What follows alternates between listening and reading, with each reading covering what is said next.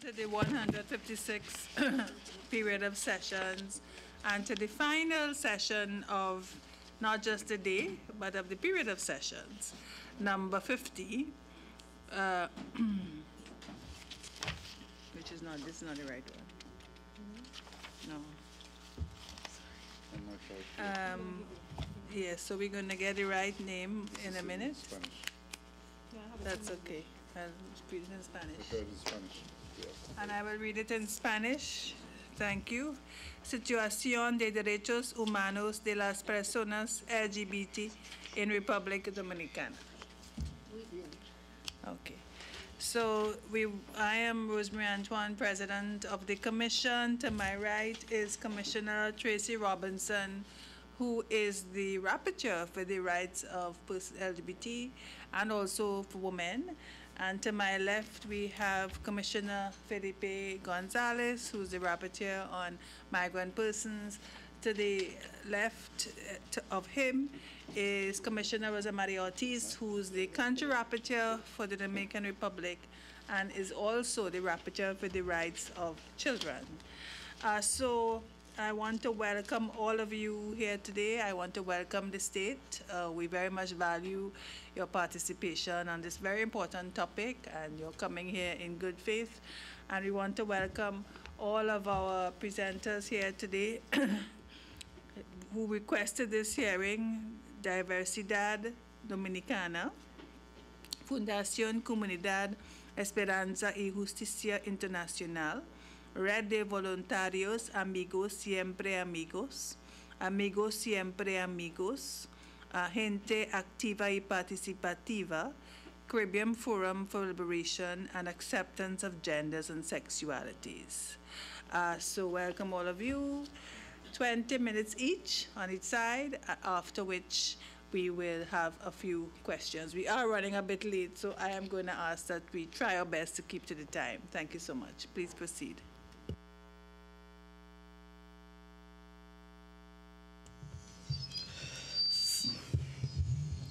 Saludos, buenas tardes. Buenas tardes, señores comisionadas, comisionados de la representantes Estado Dominicano. Bueno, perdón. Buenas tardes, señoras comisionadas y comisionados de los representantes del Estado Dominicano que están presentes. Soy Cristian Ramírez, voluntario de la red de voluntarios Siempre Amigos ASA, Rebasa, y vine en representación de la comunidad LGBT dominicana. La En videíto que tenemos presente. El hecho de que existan homosexuales en la misma. ¿Pueden iniciar por favor el video? Y suben el, video- el sonido, por favor. Yo pienso eh, que realmente fue un acto de, de, de homosexualidad, un acto de una, una, una orgía, una orgía homosexual. Y es lamentable, de, verdad que nos da mucha pena por Nasco y por los otros participantes. Eso es un reflejo de los niveles de descomposición a que está llegando la sociedad dominicana, que se reforzará más con la presencia del embajador norteamericano en nuestro país, que es el principal maricón.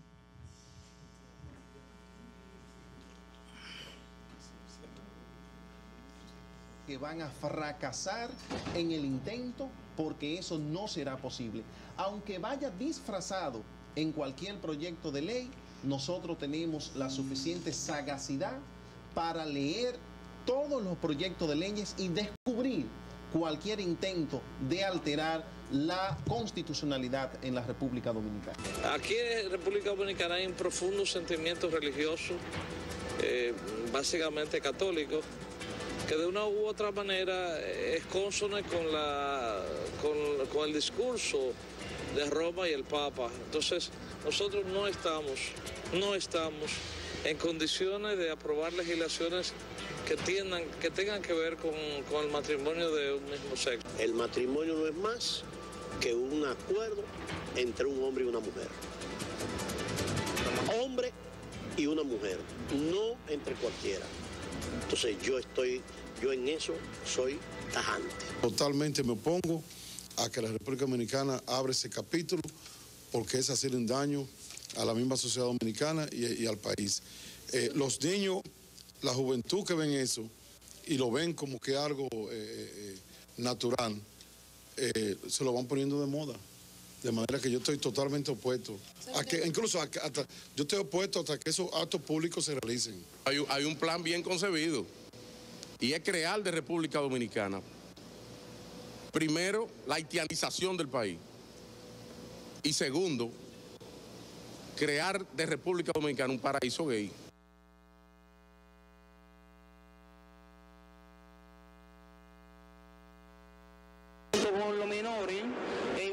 Aprovechó de mí, me dio y me recortó los cabellos.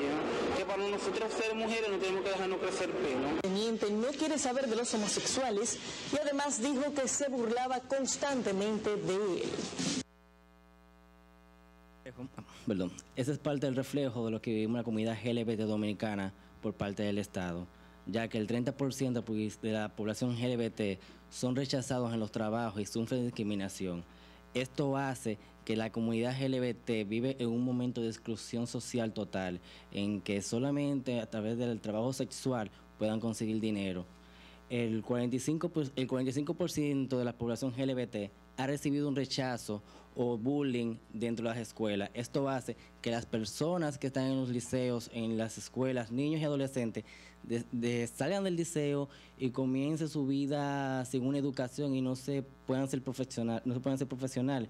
Esto causa que las personas comiencen a utilizar drogas y a utilizar medios eh, de prostitución para poder conseguir dinero y poder sustentar su, su- su modo de vida. Esta falta de, de programas en, la, en las escuelas, que es el mayor problema que tenemos en la sociedad dominicana, ya que la educación es la base de todo. Eh, no hay un mecanismo ni un protocolo para hacer que un, un chico, un adolescente pueda tener mecanismo de defensa ante el bullying, tanto de los profesores como los estudiantes que son sus compañeros. En el caso de los LGBT, especialmente los chicos y las chicas trans, que son los más vulnerables en este caso. Cerca, cerca del 20% de, de los LGBT han sufrido acoso y discriminación por parte de la familia. Esto lleva a que los, esos jóvenes salgan de sus casas y terminen durmiendo en la calle, debajo de puentes, debajo de los elevados, y terminen también en suicidio, tirándose al mar o simplemente se ahorcan en un árbol con una soga. Esto se ve muy común en lo que es la región norte del país y en el sur. Esto produce también que la gente no acuda esta, esta discriminación por parte del Estado y, el pueblo dominicano en general, que la gente, no- los LGBT no acudan a los centros de servicio de salud y por eso mueren de VIH-Sida, de papiloma, de sífilis, de gonorrea, de, de hepatitis, o hasta simplemente de una gripe, simplemente para no acudir a un centro de salud y no ser discriminado. Ya desde que llegan al centro, los prestadores de servicio, los doctores, las enfermeras, hasta el, que está ahí, comienza a burlarse de él y mejor prefieren atenderse en un callejón o en la casa de un amigo para que no sea discriminado dentro de los hospitales. En la República Dominicana, más del 60% de las personas rechaza a los gays y el 59% define la homosexualidad como que es algo ilegal y que debe ser penalizado en las leyes dominicanas. En el 2006 se le hizo una, es- una encuesta de investigación que resaltó esta parte. En el 2013, la Penachon, la encuesta Penachon estableció que el 79% de los habitantes del Distrito Nacional está en desacuerdo con el matrimonio LGBT, algo que es simplemente algo que no puede ser posible, que el deseo de la mayoría cohiba el derecho de una minoría, porque los derechos no se basan en que la mayoría quiera o quiera, es un derecho. Desde hace varios años, el informe sobre derechos humanos de Estados Unidos dice que los LGBT es la comunidad más, más avivalente y, homo- y ho- homofobia arriesgada, especialmente en las trans. O sea, son las trans las que reciben el, el ma- el mayor odio por su misma experiencia es- es- especie de género. Como se ven mujer, son las que son más discriminadas a la hora de, de- de salir a la calle a buscar su sustento.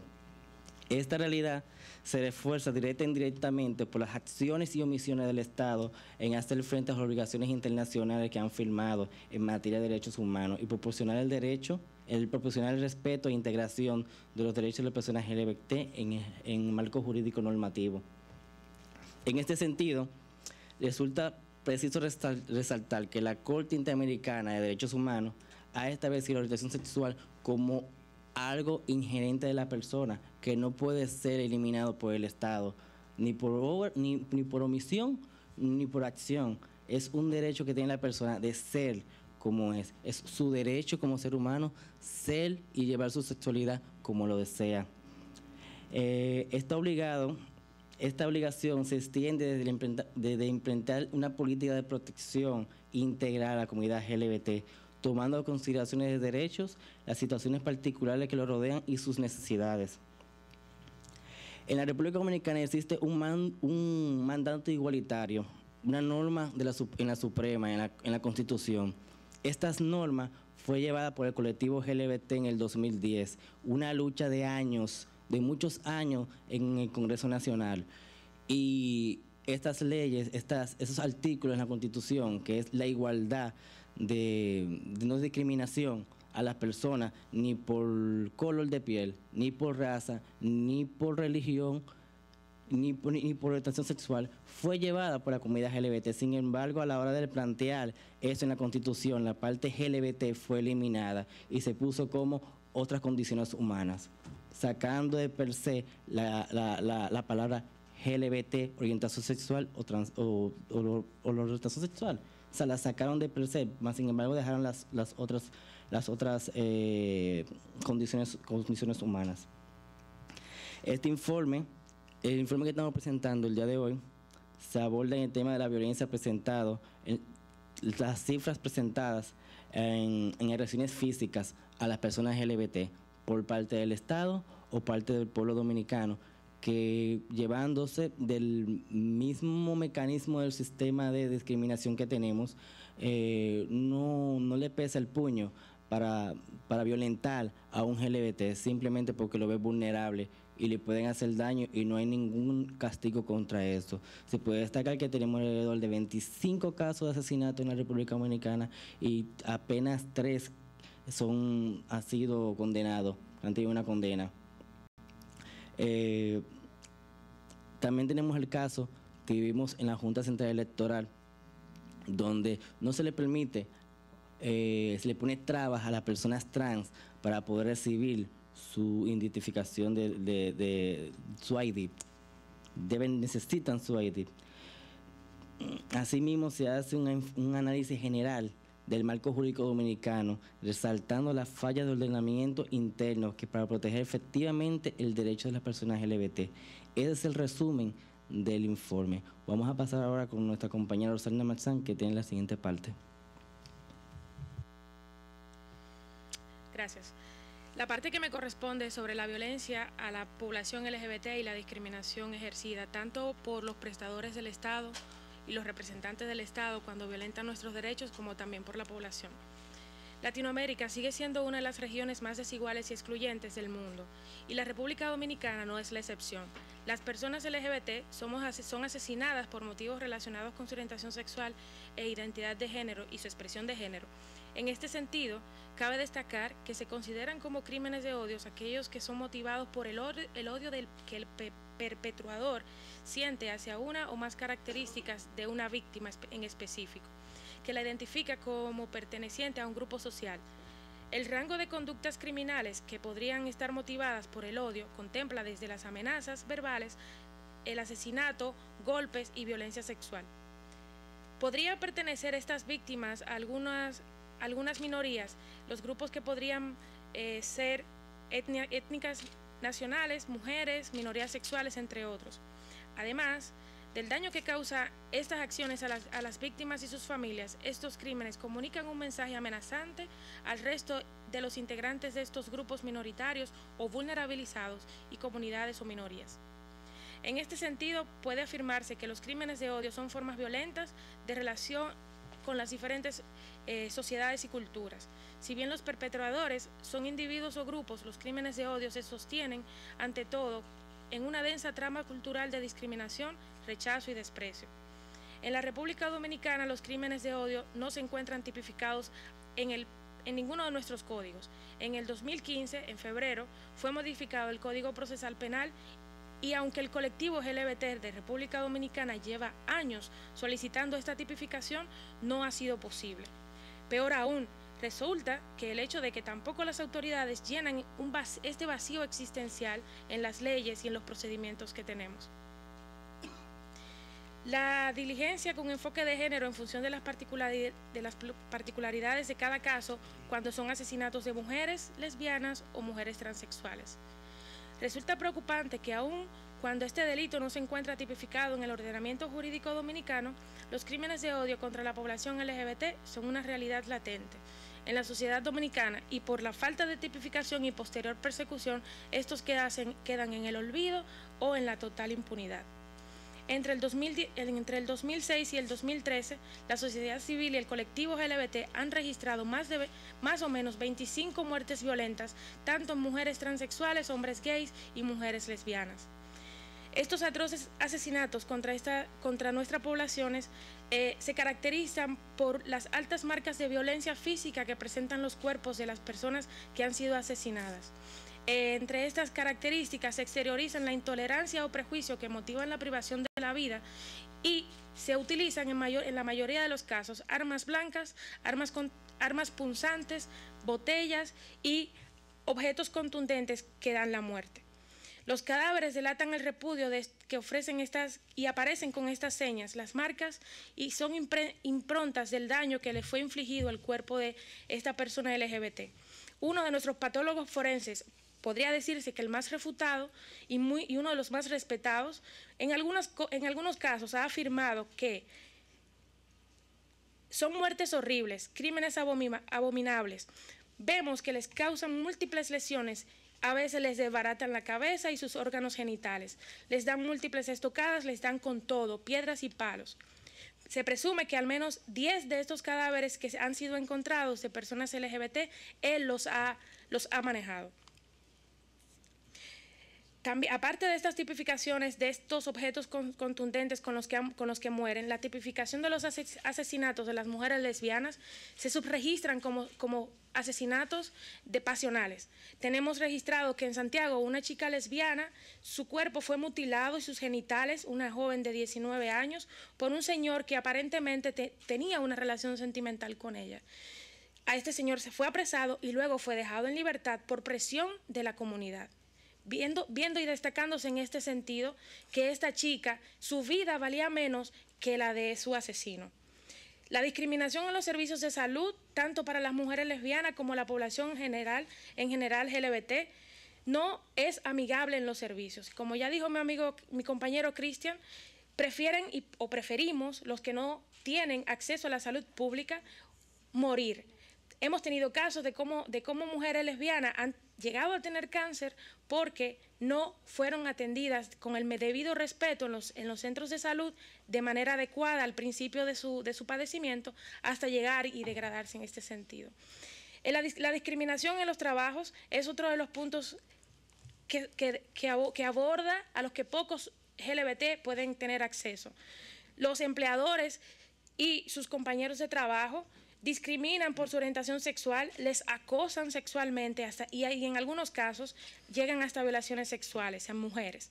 Las mujeres y hombres son despedidos sin ninguna causa aparente y cuando ellos van a, al Estado, que es el órgano rector de esta situación, pues en la ley del trabajo no tenemos la discriminación por orientación sexual, ni tampoco en el protocolo de verificación a esos empleadores existe una cápite sobre discriminación por orientación sexual. En este sentido, eh, cuando se llega a la, a, la, a, la, Corte de Trabajo, lo que les sugieren es a, a estas víctimas es que se vayan a buscar un abogado afuera porque ellos no le pueden atender. Gracias. Ahora va a hablar Cindy de la parte de las mujeres trans. Muy buenas tardes. Yo vengo en representación de miles de seres humanos que no tenemos voz en nuestro propio país, que somos maltratadas, somos estigmatizadas, excluidas. La transexualidad en la República Dominicana es sumamente rechazada y marginalizada, tanto a niveles sociales como jurídicos. Nosotras, las mujeres trans, somos en muchas ocasiones perseguidas y marginadas de la vida cotidiana por carecer de aspectos tan básicos como documentos de identidad acorde a nuestra identidad y expresión de género. En esta situación nos impide accesar a servicios tan básicos como imposibilidad para acceder al mercado laboral y formar, realizar transacciones en los centros bancarios por la discrepancia en nuestra apariencia física y el nombre que aparece en nuestros documentos. La identidad, esto nos trae conflicto a la hora de utilizar los servicios bancarios con los oficiales de servicios por la discrepancia, pues en el documento nos hacen, cuando vamos a solicitar el documento de identidad, si vamos maquilladas, con extensiones, nos hacen quitar los aditamentos que tenemos y nos hacen vestir de manera masculina para podernos entregar el documento de identidad electoral. En esta situación se ve agravada por el hecho de que en el país nosotras las mujeres trans no contamos con el respaldo de una ley de identidad de género que nos facilite el desarrollo de nuestra vida cotidiana de forma acorde a los caracteres de nuestra personalidad. Esta carencia se torna más compleja toda vez que los ambientes que nos rodean a las personas trans resultan ser estigmatizantes y discriminatorios. Esta estigmatización y prejuicio trasciende a diferentes niveles de la sociedad y podemos como incluso entidades gubernamentales regulan la expedición de documentos tan básicos e importantes como la cédula de identidad electoral, vulnerando los derechos de nosotras las mujeres trans. En República Dominicana, señores comisionados, no tan solo nos matan, esas muertes quedan impunes. Ramón Rosario, una compañera trans que se identificaba como Yamile, desconocidos la atropellaron y le pasaron mil y una vez por encima y esa muerte quedó impune. Quedando su cuerpo completamente destrozado. Pedro Vázquez Zorrilla, Robert, fue golpeado rudamente, perdón, rudamente con botellas y un martillo y asfixiado con una almohada. Dos hombres ataron y quemaron vivo a Héctor Miguel Aponte en la comunidad de Nigua, San Cristóbal. En este sentido, resulta preciso mencionar que los casos antes mencionados no son aislados. En el mes de julio del año en curso, en San Francisco de, Macorís, perdón, fue asesinada la joven que se hacía llamar La Puchi y hasta el momento no se tienen informaciones concretas sobre procesos de investigación abiertos por las autoridades. A este caso se han aunado otras lamentables pérdidas, como del asesinato de una compañera trans que ejercía el trabajo sexual en las calles de Santo Domingo, llamada Kimberly Sodi, en el año 2014. También la flaca, joven transgénero de Puerto Plata, asesinada en el año 2013. Pero comisionadas y comisionados nos matan, nos discriminan, nos marginalizan, negándonos lo más básico, derecho de cómo acceder a la cédula de identidad electoral. En este sentido, la Junta Central Electoral ha emitido ciertas regulaciones en cuanto a las condiciones que exigen para tomar la foto del documento de identidad electoral y dentro de estas regulaciones han incluido que no se pueden tomar las fotos de personas vestidas, oigan esto comisionado, vestidas o de forma que aparenten ser del sexo opuesto. Esta regulación nos afecta directamente a nosotras las mujeres trans. Esta situación, típicamente una flagrante vulneración a los derechos constitucionales, al libre desarrollo de la personalidad y, y dignidad e igualdad que nuestra constitución consigna. Aquí le voy, a, le voy a mostrar que yo misma fui víctima de ese abuso. Fíjense cómo yo me veo aquí y cómo me veo en mi documento de identidad electoral. Tuve que asistir en varias ocasiones para poder obtener mi documento de identidad electoral. No me parezco. Me humillaron, me vejaron. No tan solo en el documento, sino por parte de los miembros de la Junta. Fui el centro de atención, fui el payaso. No les importó mi sentir. Y no es tan solo yo.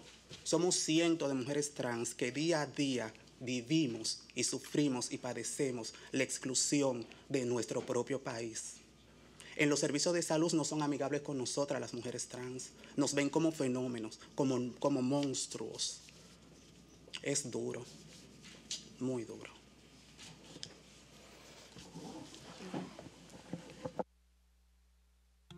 We are out of time, but were the two of you planning to speak? I was, President, uh, trying to speak, but if uh, I'll just give the time to the person Okay, who has because we can just take a shorter question period and allow you. to- Well, I I'll just take a minute then. and, uh, Okay, so because if you I- can each have a minute? Yes. Okay, each. then. Mira, Selva, Un minuto.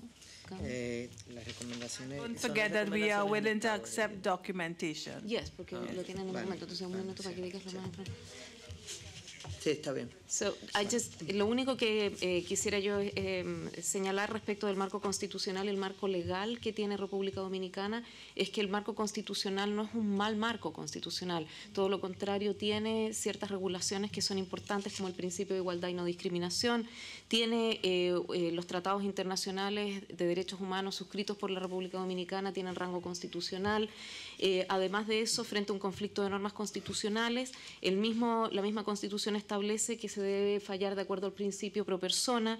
En general, además, hay una interpretación de la Corte Suprema de Justicia que establece que la Constitución debe ser interpretada como un todo en armonía. Por lo tanto, aquellas disposiciones, como ocurre en los casos de derecho de familia, que son ambiguas, en el sentido de que la familia se construye en base a un hombre y una mujer, en una interpretación sistemática y hermenéutica del texto constitucional, tendría una, una salida bastante más favorable si es que existiera la voluntad política y social de poder hacer el cambio. En relación al marco legal, hay eh, lo, lo más importante, como se ha señalado acá, es un problema de la falta de identidad, de una ley de identidad de género y una falta de una ley de antidiscriminación que permita que no se produzcan problemas como eh, el que ocurre en este momento, en que aparentemente las eh, personas LGBTI no podrían acceder a las fuerzas policiales, dada una interpretación ambigua del mismo jefe de la Policía Nacional y de la dirección legal de la Policía Nacional que establece que la normativa del año 62 en, esta- en ese aspecto todavía estaría vigente, aun cuando hubo una eh, modificación en el año 2004.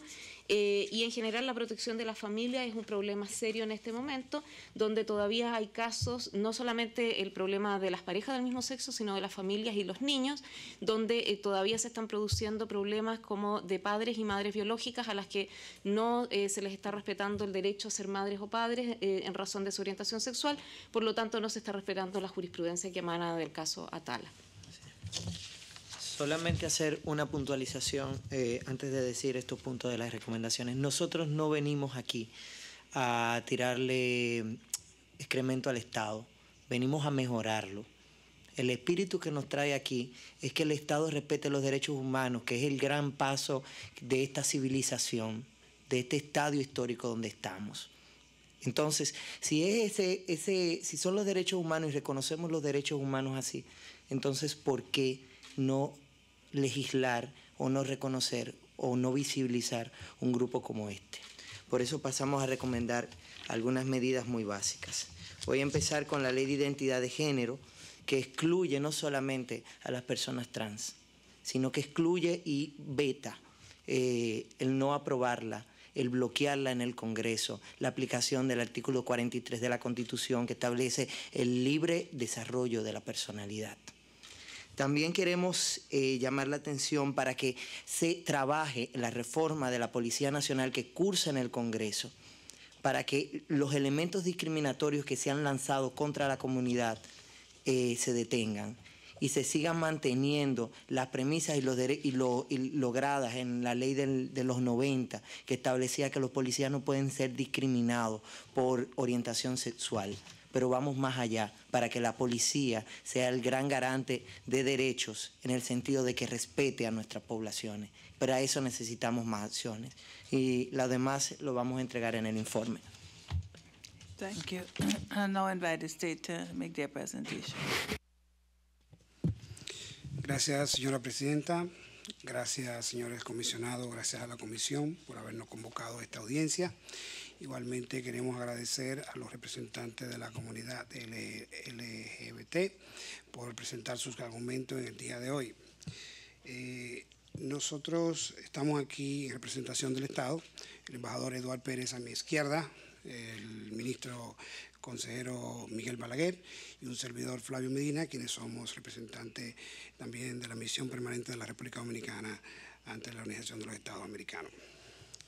Hemos escuchado eh, atentamente las exposiciones y tomado nota de las mismas para transmitirla a nuestras autoridades, las cuales eh, darán seguimiento a los argumentos aquí presentados en el día de hoy. Eh, en realidad es cuanto podemos decir en este momento y queremos de nuevo agradecer a la comisión, a los comisionados y a la presidenta por darnos esta oportunidad. Okay, well, thank you. Um, we appreciate your presence, and we are, uh, are happy that you there was some representation by the state. Uh, it's better than nothing, but we would have been happier if we had had a specific response. But nevertheless, we look forward to some responses in writing. Uh, since it seems that you weren't actually prepared to make a statement on this, I think the Commission would be happy to have that. Um, let me go then over to the country rapporteur, uh, Commissioner Ortiz.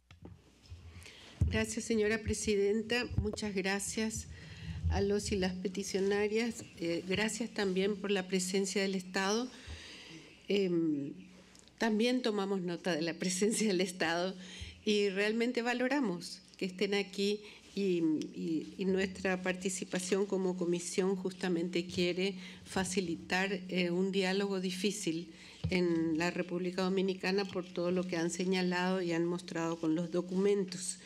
Y entre las cosas que nos gustaría eh, que tomen nota es el contar con la comisión para apoyarles en la adecuación de la legislación y la práctica en República Dominicana a los tratados de los que hace parte la República Dominicana y que en su constitución también los reconoce como parte de la constitución. Eh, considero que el programa de educación es fundamental y básico. También el Ministerio de Cultura podría aportar mucho por, por, todo lo que estuvimos escuchando de los medios de comunicación eh, que colaboran justamente con esta discriminación y estigmatización. Vemos aquí a un grupo po poblacional que precisa un apoyo para ser visibilizado de una manera positiva.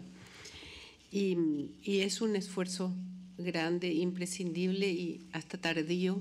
No hay tiempo que perder para poder abordarlo. Eh, nos interesa también que el Estado pueda tener datos sobre esta, esta problemática para saber de qué manera abordarlo. Eh, datos en relación a la educación. Soy relatora de derechos del niño y sé el sufrimiento de los niños que ni siquiera tienen el, el esclarecimiento que tienen estas personas ya hoy adultas eh, pero cuando son pequeños y son adolescentes, no logran entender qué les pasa y por qué reciben ese rechazo. Y es muy cierto que existen casos de que ese sufrimiento tan grande les lleva al suicidio. Y no podemos aceptar que una comunidad permita que la exclusión lleve al suicidio de niños o adolescentes. Precisa el, sistema educativo eh, poder también enseñar a los padres cómo lidiar con esta situación en beneficio de sus hijos y de su familia y de toda la sociedad. Eh, lo mismo en relación a los programas de salud, son otro mecanismo del Estado para para educar a la población y también a los medios de comunicación. Y, y, la justicia que debe perseguir todos estos casos con especial celo. Eh, interesante el, el, rol del patólogo que describe lo que observa y que esa, esos datos eh, puedan servir para transformar. Como dice el pedagogo brasilero Paulo Freire, conocer para transformar. Es un rol importantísimo que los datos puedan ayudar a conocer. A veces la población también reacciona por lo que conoce y es importante que conozca lo diferente de, de este sector y la importancia de que puedan tener su derecho a la vida y a su desarrollo integral como cualquier otra persona. Gracias. I the thematic rapporteur, Commissioner Robinson. Thank you, President. Um, Can I thank the petitioners for requesting this hearing? Um, I don't know exactly how many hearings, thematic hearings we have having, had in relation to member states of the OAS, but it's now a growing number of cases in which we've had an opportunity to learn more about the situation of LGBT persons in specific countries in the OAS, and to thank the state for your presence we're looking forward to responses in writing, which will help us to um, better understand the situation and the state's position. Uh, as I listened to the videos at the outset of the presentation, um, it brought to mind the, the Commission's exhortation to states often that they must remember the duty of state officials to promote human rights. Yes, there's a right to freedom of expression, um, but state officials, those who are representatives of the state, have a duty to ensure that they don't engage in harassment and stigmatizing comments which undermine the overall state project of respecting the human rights of all. They must promote the human rights of all, they must encourage tolerance. And it is something that I think it's important for the state um, to, to, to, to strongly encourage all those who act on behalf of the state to bear in mind in their public statements. Can I come to the question of violence um, and to note um, the petitioner's statement about the brutality of the acts of violence, including killings. And this has been the experience of the Inter-American Commission in its registry on violence. It also noted um, the level of brutality in many of the acts of violence.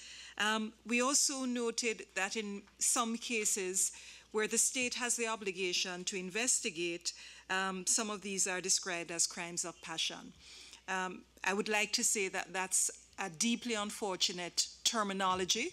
It's used both in English and Spanish. We should get rid of it because passion suggests something positive. And it's often a way of minimizing the violence. And no one suggests in the context, for example, of killings where persons know each other, if it's a man and a woman, that this isn't a context of gender and isn't something the state has a responsibility to prevent. Um, and so I think the language of crimes of passion we should remove from our way of thinking about crimes and we should begin to investigate um, with an openness to finding out what are the real causes of the violence and ensuring that our legislative regimes allow us to fully recognize crimes motivated by prejudice.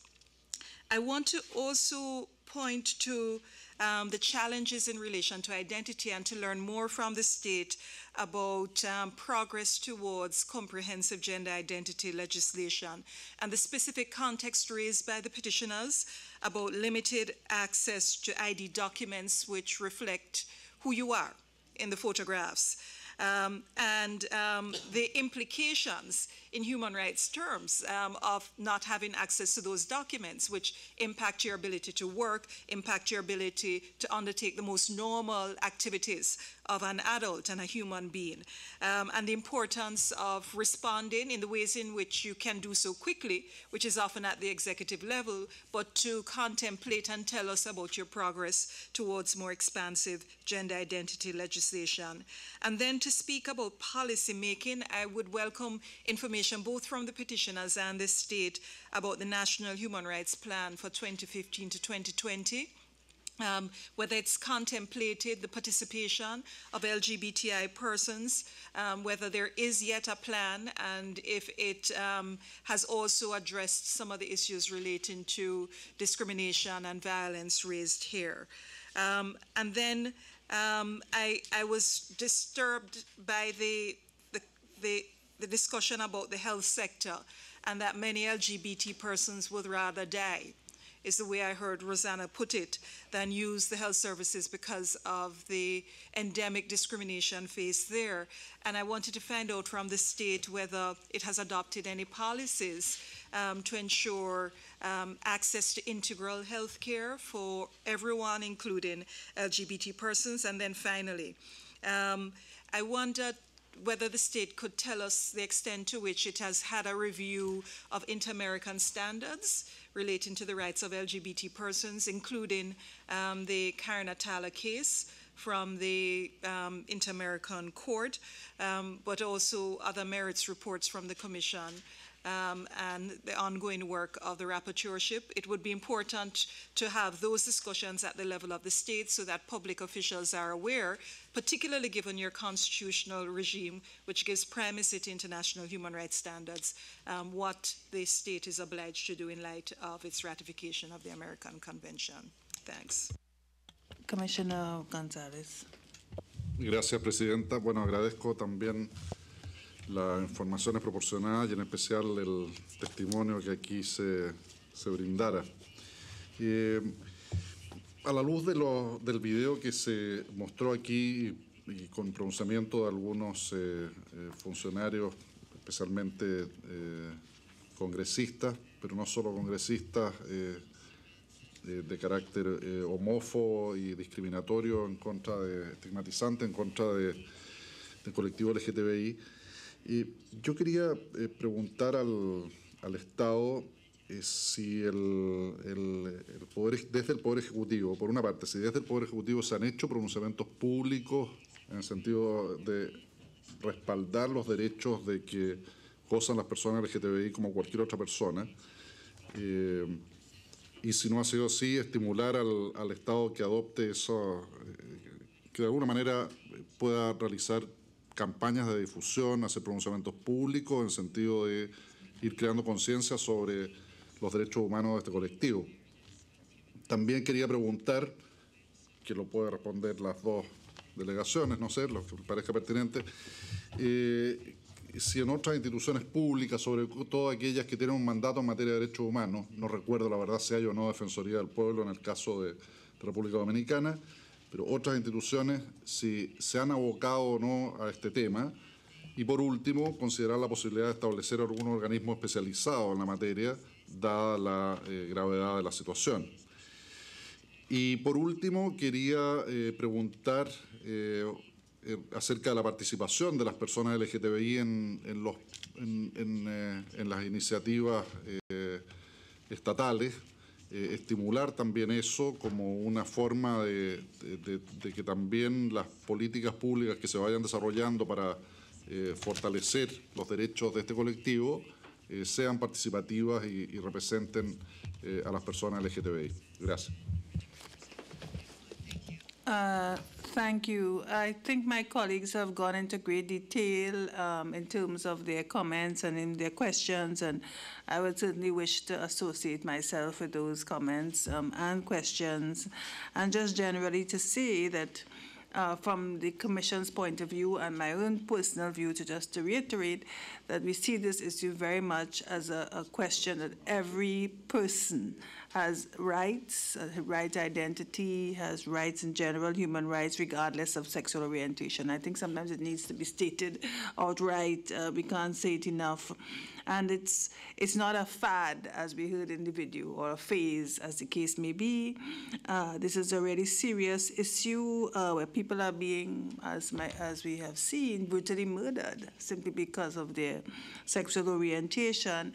But I think also it's one of those issues that it's not going to go away on its own, and it's not even, I think, going to be alleviated from pressure only of civil society. I think it's one of those issues where you really need leadership and courageous leadership by the state. And that's, I think, a message that perhaps you can take back to, to, to, to, to the state, those of you who are representing the state here today. Um, um, is this idea of this notion that in order to improve these situations, there does need to be leadership uh, in, in terms of it. These issues need to be taken very seriously. So once again, I just wanted to endorse uh, the comments and questions of my colleagues. So we can give, depending, I, I suppose, on how much we're going to come, how many responses we're going to get from the state. Let's say five minutes in the first instance, and we see where it takes us. Five each. Thank you.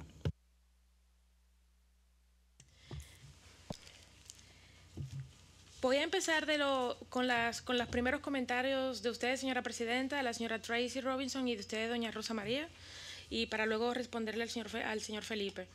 Eh, desde, desde el Estado, La Procuraduría General de la República tiene una unidad de derechos humanos.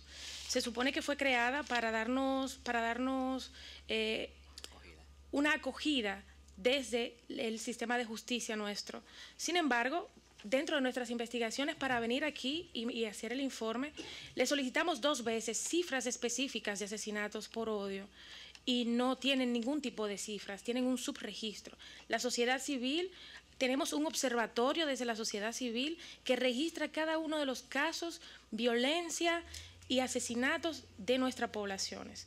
Las cifras están dentro del, informe, lo van a encontrar allí.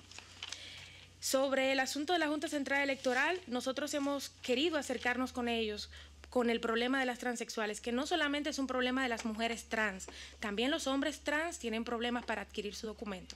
Tienen que rasurarse lo que se hormonizan y tienen que vestirse o disfrazarse como ellos sienten que tienen un disfraz de mujer para que le puedan dar sus documentos.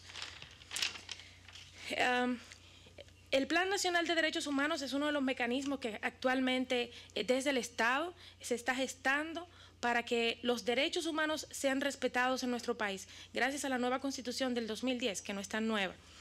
Eh, en este sentido, tenemos una pobre inclusión de la, de la comunidad LGBT dentro de este plan aparte de que es una pobre inclusión, no está, hay, hay personas que, deberí, que no deben, personas no, instituciones que no necesariamente son los correctos para velar este, este tipo de, situaciones y discriminaciones.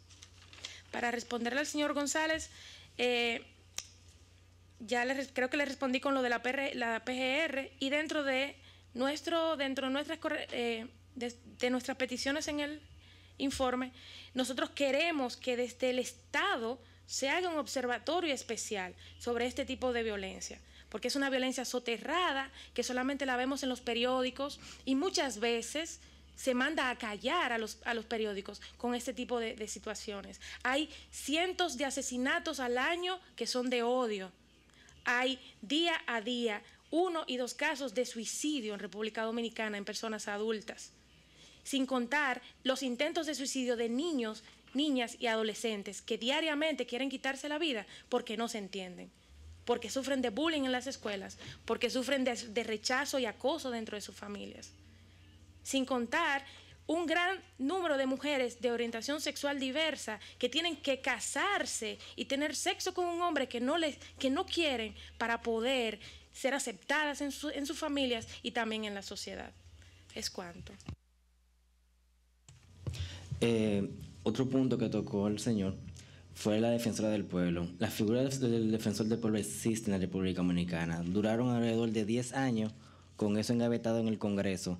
Al final a cabo lo aprobaron y tenemos un, una defensora del pueblo, pero es infuncional. Ni siquiera tiene una oficina. No tiene una oficina y realmente las, los casos que llegan allá mueren, porque ni siquiera tiene ni siquiera un dinero no tienen recursos ni económicos ni, ni humanos para trabajar la, la, parte de defensoría humana, defensoría del pueblo. Realmente es un organismo infuncional en todo sentido de la palabra porque no ha servido más para ser más que una, una nómina más en el Estado, porque para la población LGBT y la población en general no ha funcionado. Está ahí, más no está ahí. Quiero mencionar algunos puntos para contestarle a Tracy en cuanto a los asesinatos. No es que ni siquiera lo tipifican mal, es que es peor. Ni siquiera la ley dominicana, en especial el Código Penal, establece que, los, que hay, una cierta, hay ciertos crímenes que son de orden público. La mayoría de los crímenes contra nuestra población encajan en el de orden público, pero ninguno han sido investigados. Más de 20 y pico de casos nosotros hemos registrado en años y no hemos tenido ni siquiera una respuesta. Algo que la ley le manda al Estado, ni siquiera hemos recibido la respuesta de que lo vamos a declarar de orden público para investigarlo y llegar a una última consecuencia, a pesar de todos los escándalos mediáticos que hay que hacer. Eso es en cuanto al tema de los asesinatos. En cuanto al tema del sector salud, nosotros tenemos un gran problema ahora mismo, de una mala praxis que, tienen, que, que, se está, que se está haciendo en el campo de la salud mental, que es la terapia de reparación en menores. Nosotros le hemos exigido, le hemos pedido al Estado, en especial al Ministerio de Salud Pública, que regularice eso Bueno, uno es los adultos, está bien, tienen su responsabilidad, pero en los niños, en aquellas personas que están definiendo su personalidad y cuando la constitución los ampara de que tienen que tener la libertad de pa- para construir su, su personalidad. Y no siquiera, eso es una cuestión de hacer una normativa, de sentar las partes. No, no hay, simplemente lo único que obtenemos normalmente del Estado para conectar con otra pregunta que hicieron sobre, eh, sobre esto es, la respuesta que siempre obtenemos del Estado es el silencio. Tocamos las puertas y es el silencio. Hubo prácticamente que asociarse con los la sociedad civil para la elaboración del plan y que la sociedad civil dijera que no iba a validar ningún plan y que no iba a ir a ninguna consulta si no nos incluían porque ni siquiera nos invitaron. Siendo y marcando las encuestas, como ustedes lo van a ver en el, en el, en el informe, diferentes eh, estudios de opinión y diferentes estudios cualitativos de la sociedad que establecen que nosotros somos la población más discriminada, incluye sobre los migrantes. Y no estoy estableciendo jerarquía porque la discriminación es discriminación y no tiene que ver con poblaciones y nadie es más importante que nadie. Todos somos seres, seres humanos sobre el tema de la participación, pero si somos invisibles, ¿cómo vamos a participar? Si ni siquiera el primer paso que hablábamos en los 80 en el tema sociológico de la inclusión social y que hemos evolucionado en el siglo XXI de que ya no es la inclusión, que es la real participación, pero ah, seguimos siendo invisibles, ¿cómo podemos participar? Es una, es una premisa muy importante. Y sobre el tema del trabajo y lo laboral. Nosotros estamos teniendo despidos masivos, eh, de, de eh, masivos no, despidos de personas LGTB. Estamos llevando casos, pero no hemos logrado, aunque lo hemos exigido, lo hemos planteado, hemos hecho movilizaciones, no hemos recibido ni siquiera una respuesta para que se aplique algo que esté en el código laboral, que es que nadie puede ser discriminado en el trabajo. Entonces, el gran problema aquí, central, no es cómo se da la discriminación, eso, es un gran problema. El gran problema aquí central es cómo el Estado se rehúsa a, tratarnos, cómo el Estado se rehúsa a reconocernos como personas, a, reconocer nuestras necesidades, porque los derechos humanos no, van más, son más que lograr reconocer las necesidades para que el ser humano se desarrolle, crezca y- y- y se establezca y participe en la sociedad. Pero si ni siquiera reconocen nuestras necesidades, ¿cómo podemos hablar de participación? Y no estamos viniendo a exigir derechos especiales, simplemente que queremos educación como cualquier otro tipo de persona, que queremos salud como cualquier otro tipo de persona. Ustedes lo pueden ver en diferentes audiencias temáticas y con esto termino. El Estado manda misiones especiales para tratar problemáticas. A, a nosotros, y no es por descartarlos a ustedes, este es su trabajo y lo valoramos. Pero a nosotros, ¿quién nos mandan? ¿Cuál es el interés que hay? ¿Cuál es la concertación? Esto es una muestra de cuál es el interés que tenemos para, para, el, para el gobierno, el, para el que pagamos impue- impue- impuestos. Y muchos, porque nos cobran de más. Porque para nosotros lograr la cierta participación que tenemos, no es por derechos, sino por poder, porque tenemos que agarrar e invertir de más. Tenemos que prostituirnos, tenemos que irnos al underground, al inframundo y sufrir para poder vivir. Y eso yo creo que no es tolerable. Does the state have anything to say? Señora, señora Presidenta, eh, como habíamos dicho en nuestra primera intervención, solamente este, escuchamos atentamente los argumentos de los representantes de Thank you. eh, y tomado nota, no tenemos más argumentos que, escribir. Gracias. Okay, thank you very much. And we do note the legitimate comments in relation to even being heard by those who are presented. And we are on our way out. Actually, all four of us uh, commissioners leaving at this session, but we do hope when next we have a hearing on this subject in this country that we can see. I'll be watching on the web at that point that we will have a special delegation from your country to come and respond uh, adequately or at all to these concerns that have been raised here. We think it does deserve the respect and it certainly does deserve a response. So we do hope that on the next occasion, and there will be another hearing, I am sure. And one, I always say that one of the important things about these public hearings is that you have the opportunity not just to speak to the commission and to the state, but to speak to your fellow citizens in, in your country and even beyond. So I want to thank you for bringing this issue to our attention. It's an issue that we take very seriously. As you know, it's our latest our, uh, rapporteurship, and you know the work that has been going on and that you're not invisible uh, in the commission, and you do have a voice in the commission. And we thank you very much uh, for your attendance and for your own work on behalf of your constituent. Thank you very much.